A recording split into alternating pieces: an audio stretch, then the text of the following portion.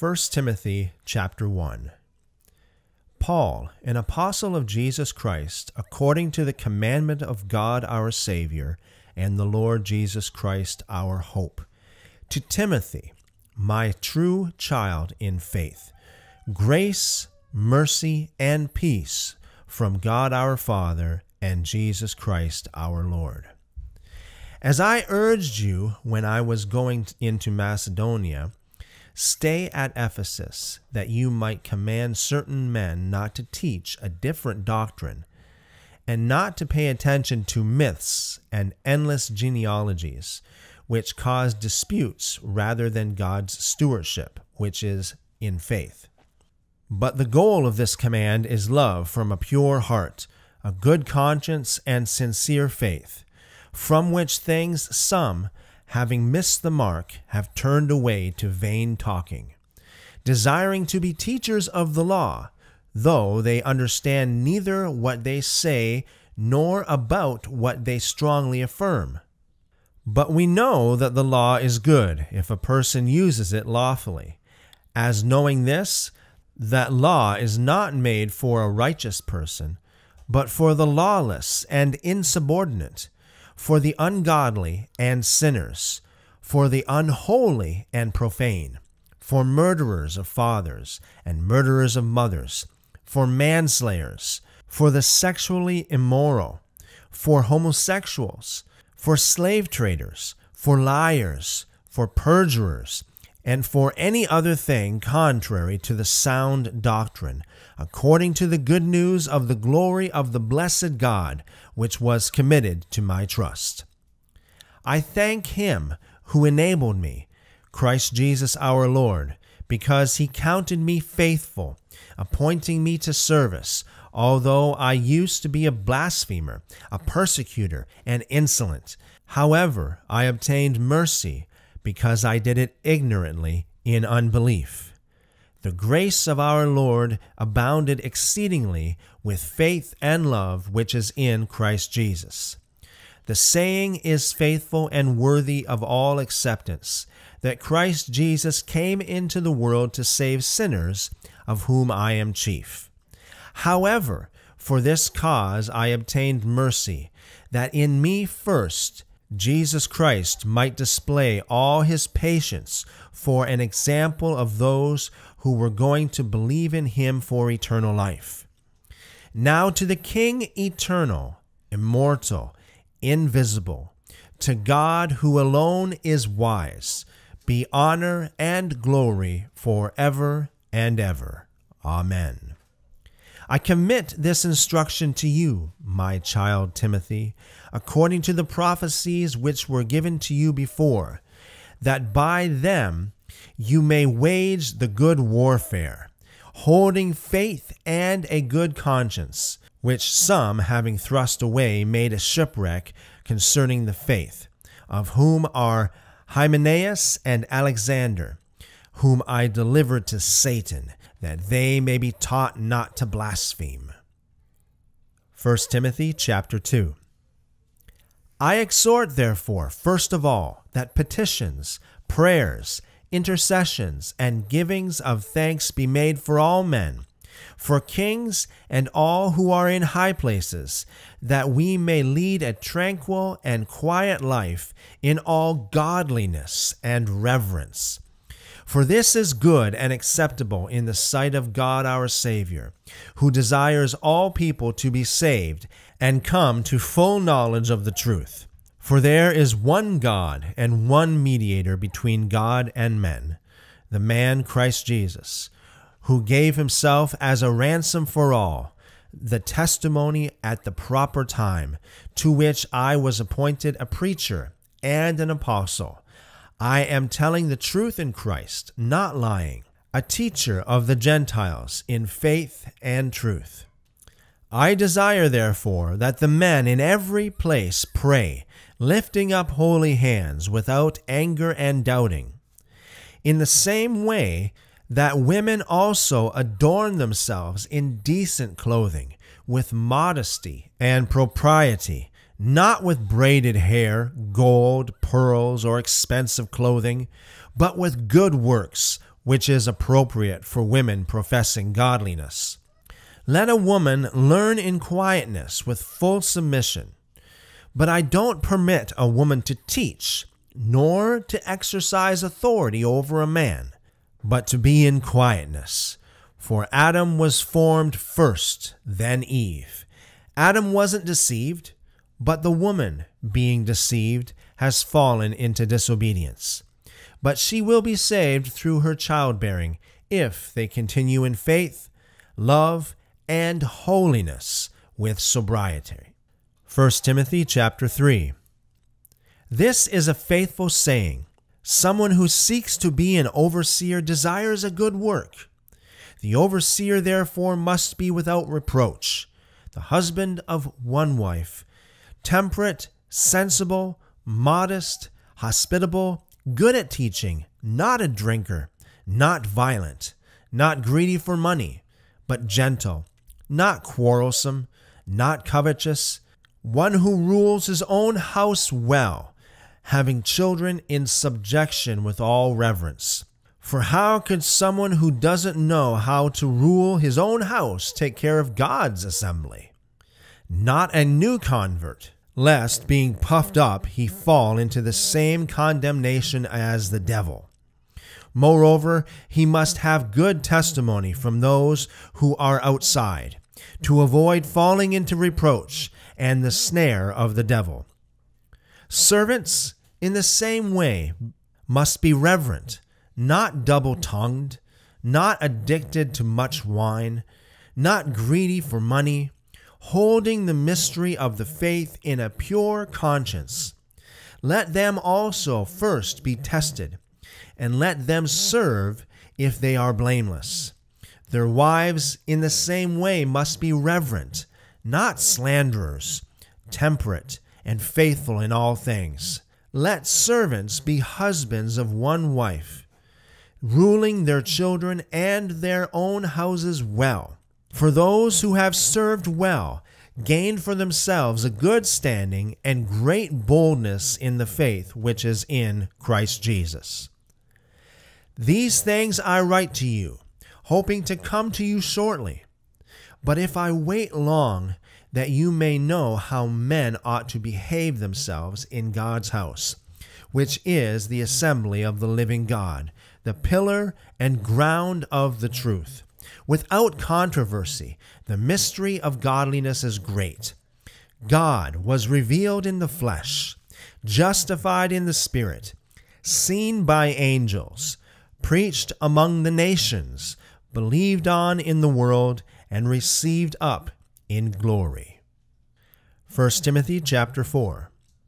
But the Spirit says expressly that in later times some will fall away from the faith, paying attention to seducing spirits and doctrines of demons, through the hypocrisy of men who speak lies branded in their own conscience as with a hot iron, forbidding marriage and commanding to abstain from foods which God created to be received with thanksgiving by those who believe and know the truth. For every creature of God is good, and nothing is to be rejected if it is received with thanksgiving, for it is sanctified through the word of God and prayer. If you instruct the brothers of these things, you will be a good servant of Christ Jesus, nourished in the words of the faith and of the good doctrine which you have followed. But refuse profane and old wives' fables. Exercise yourself toward godliness, for bodily exercise has some value, but godliness has value in all things, having the promise of the life which is now, and of that which is to come. This saying is faithful and worthy of all acceptance. For to this end we both labor and suffer reproach, because we have set our trust in the living God, who is the Savior of all men, especially of those who believe. Command and teach these things. Let no man despise your youth but be an example to those who believe in word, in your way of life, in love, in spirit, in faith, and in purity. Until I come, pay attention to reading, to exhortation, and to teaching. Don't neglect the gift that is in you, which was given to you by prophecy, with the laying on of hands of the elders. Be diligent in these things. Give yourself wholly to them, that your progress may be revealed to all. Pay attention to yourself and to your teaching. Continue in these things, for in doing this you will save both yourself and those who hear you. 1 Timothy chapter 5. Don't rebuke an older man, but exhort him as a father. The younger men as brothers, the elder women as mothers, the younger as sisters in all purity. Honor widows who are widows indeed. But if any widow has children or grandchildren, let them learn first to show piety toward their own family and to repay their parents, for this is acceptable in the sight of God. Now she who is a widow indeed and desolate has her hope set on God and continues in petitions and prayers night and day. But she who gives herself to pleasure is dead while she lives. Also, command these things, that they may be without reproach. But if anyone doesn't provide for his own, and especially his own household, he has denied the faith and is worse than an unbeliever. Let no one be enrolled as a widow under sixty years old, having been the wife of one man, being approved by good works, if she has brought up children, if she has been hospitable to strangers, if she has washed the saints' feet, if she has relieved the afflicted, and if she diligently followed every good work but refuse younger widows. For when they have grown wanton against Christ, they desire to marry, having condemnation, because they have rejected their first pledge. Besides, they also learn to be idle, going about from house to house, not only idle, but also gossips and busybodies, saying things which they ought not I desire, therefore, that the younger widows marry, bear children, rule the household, and give no occasion to the adversary for insulting. For already some have turned away after Satan. If any man or woman who believes has widows, let them relieve them, and don't let the assembly be burdened, that it might relieve those who are widows indeed.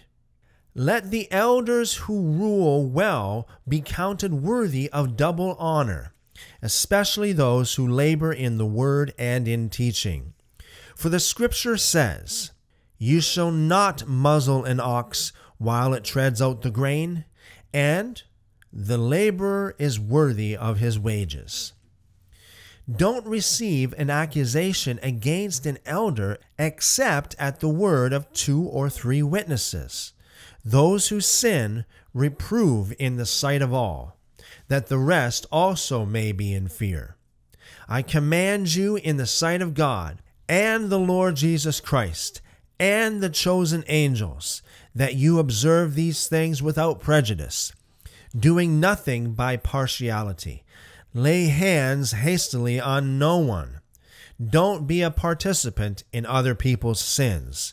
Keep yourself pure. Be no longer a drinker of water only, but use a little wine for your stomach's sake and your frequent infirmities. Some men's sins are evident, preceding them to judgment, and some also follow later. In the same way, there are also good works that are obvious, and those that are otherwise can't be hidden. 1 Timothy chapter 6 let as many as are bondservants under the yoke count their own masters worthy of all honor, that the name of God and the doctrine not be blasphemed. Those who have believing masters, let them not despise them because they are brothers, but rather let them serve them, because those who partake of the benefit are believing and beloved. Teach and exhort these things. If anyone teaches a different doctrine and doesn't consent to sound words, the words of our Lord Jesus Christ, and to the doctrine which is according to godliness, he is conceited, knowing nothing, but obsessed with arguments, disputes, and word battles, from which come envy, strife, insulting, evil suspicions constant friction of people of corrupt minds and destitute of the truth, who suppose that godliness is a means of gain. Withdraw yourself from such. But godliness with contentment is great gain. For we brought nothing into the world, and we certainly can't carry anything out. But having food and clothing, we will be content with that. But those who are determined to be rich fall into a temptation, a snare, and many foolish and harmful lusts, such as drown men in ruin and destruction. For the love of money is a root of all kinds of evil. Some have been led astray from the faith in their greed, and have pierced themselves through with many sorrows. But you, man of God, flee these things and follow after righteousness, godliness, faith, love, perseverance, and gentleness. Fight the good fight of faith. Take hold of the eternal life to which you were called, and you confess the good confession in the sight of many witnesses.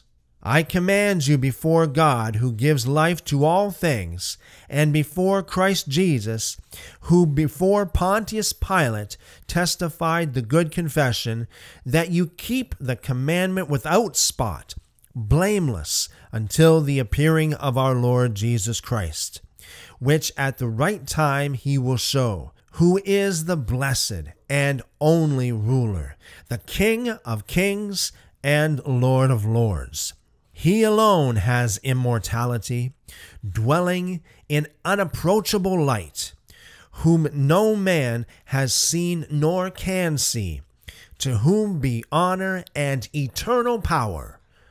Amen.